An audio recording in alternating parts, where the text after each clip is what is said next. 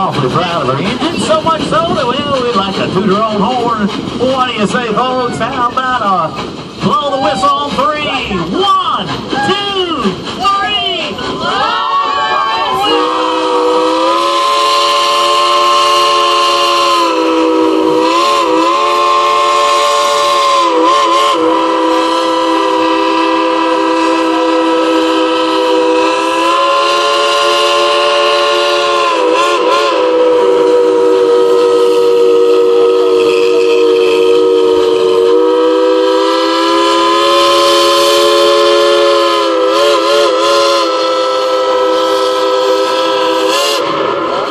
About that? Let's give our engineer Klondike Kenny a big round of applause.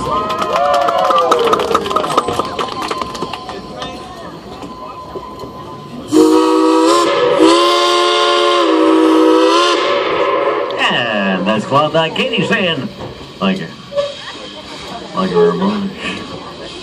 Happy New Year.